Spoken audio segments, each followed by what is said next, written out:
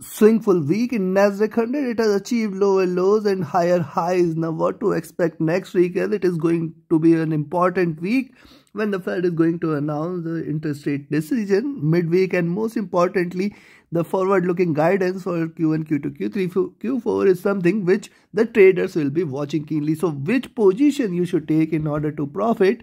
We will see with the help of charts and indicators.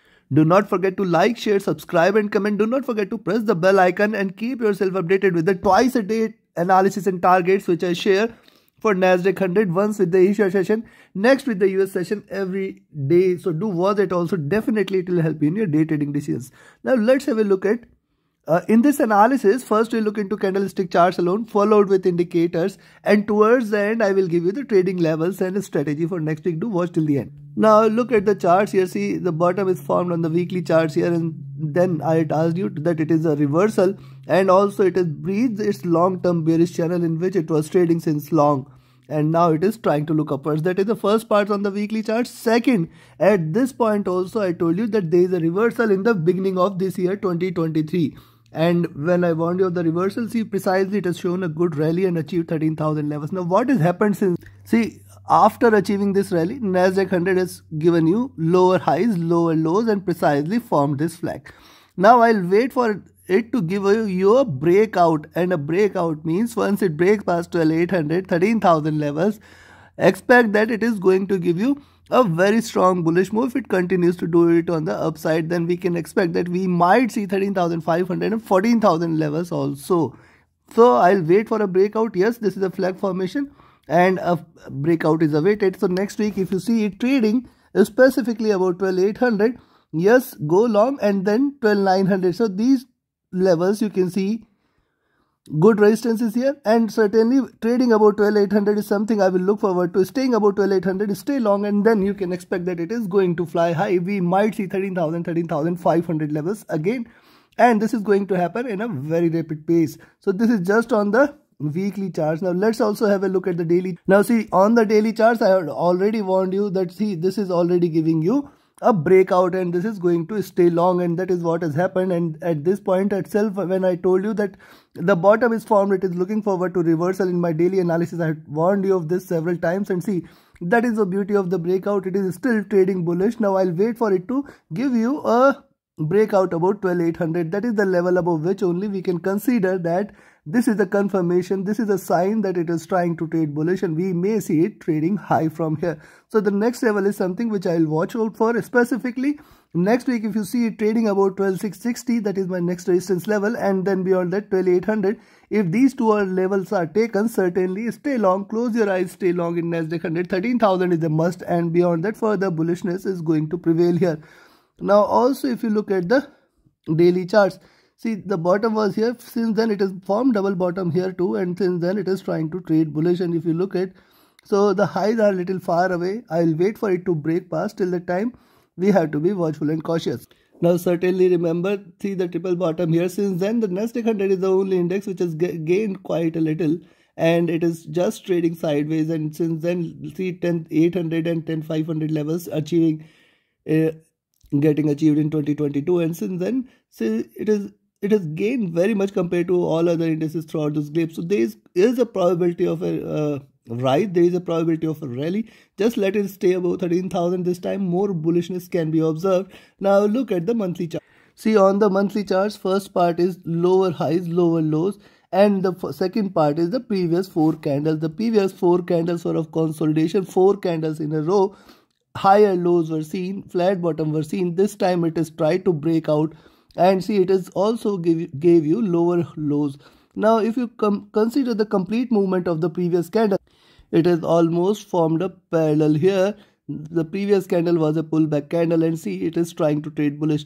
I do expect that we may see a probably stronger bullish candle. The previous candle was almost 1000 points and this time if you count 1000 points from here 11900 12000 or 12900 13000 levels can be expected here too. And then from there it may try to lift the positions again. Now if you look at the formation here see bottom here consolidation breakout and hence even if not double top it may try to rise at least a little even if it has to drop later half of the year or maybe soon it can try to retrace a little on the upside or there has to be a rise so right now it appears one can stay long in Nasdaq 100. My expectation 13,000 levels once it breaches.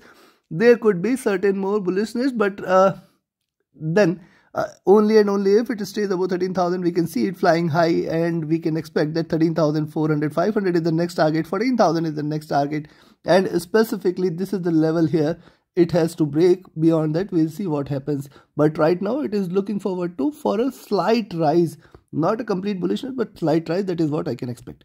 Now let's have a look with the help of indicator. Indicators here, see on the month daily charts, it is a buy signal here on the super trend. And uh, the support there is far below 811 Yes, it is trading outside Bollinger Band. Certainly, we may see the width expanding. Also, see it, it was narrowed here. Now it is trying to expand and we may see further bullish candles there. See the stochastic is overbought and hence we have to be watchful here. See stochastic consistently trading overbought. It has to cool down a bit and hence if it drops a little do not worry it is just a retracement. Now look at the MACD. This is still divergent. It is still bullish. It is still looking upwards and those who follow me regularly see this is what we have drawn several several times in the recent past. I told you it is, this is the bottom here and it may try to reverse from here precisely. It is reversing and now looking upwards it may bring bullishness in the near future. RSI uh, looking down after achieving a high here. Now look at the weekly charts. On the weekly charts, you can see this. The MACD is trying to converge 20, 50, 100 period moving averages. And if you look at it is trying to look upwards showing strength right now also. Uh, the position is on the top half of the Bollinger Bands which is a bullish indication though the super trend has not yet generated a bullish signal on the weekly charts. It is still bearish with the stop loss at 13,000.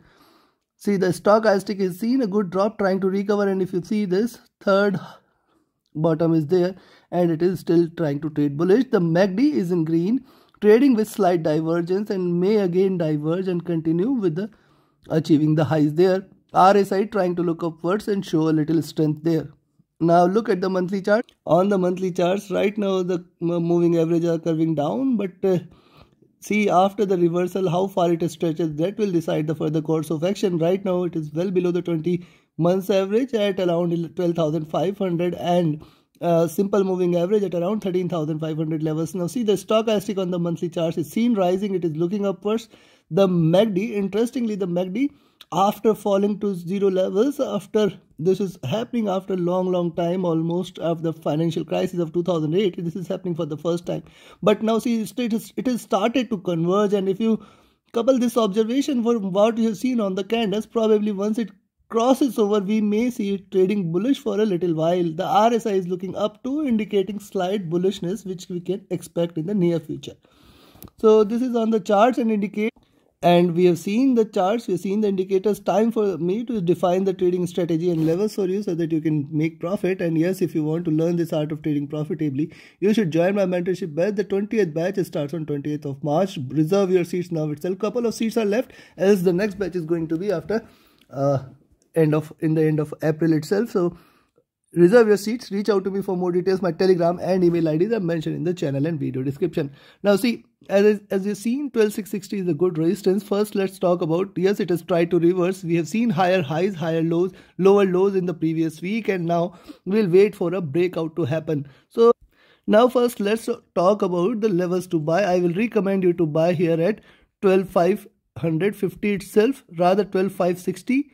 Here you can buy, expect 12660 levels and then 12720 if these two are taken directly it will lend to 12800 this is the next resistance level and you have to wait for 12800 levels to breach then 12900 these two levels once it breaches stay long in nasdaq 100 stay long in nasdaq 100 you can hold the positions. Soon we will see it hitting.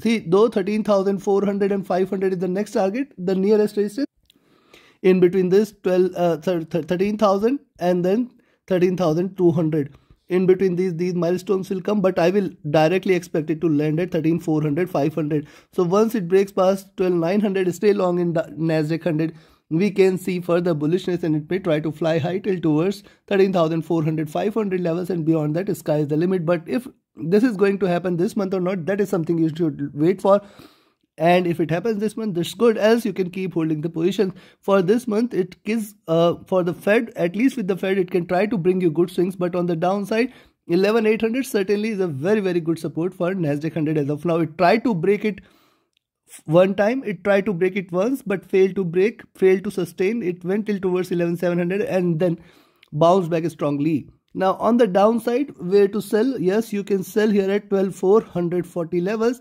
then 12350 now 3 12350 12400 were the stronger support zones. I have told you now resistance zone now it is going to be the support levels and 12300 if these levels are taken then you can consider that Nasdaq 100 may see further bearishness 12200 and 12000 levels. And below this it will directly lend to 11800 but then this is going to be a very very strong support level even if it tries to drop there could be a sharp rebound later and hence you have to be watchful and careful with the trading here.